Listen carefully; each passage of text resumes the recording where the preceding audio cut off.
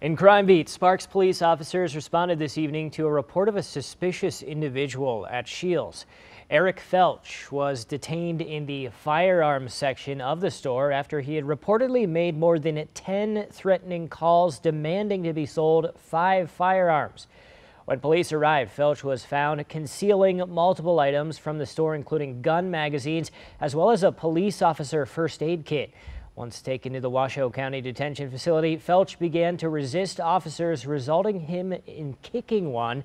His charges include making threats or conveying uh, false information concerning acts of terrorism, obstructing and resisting, battery by a prisoner, and attempted larceny.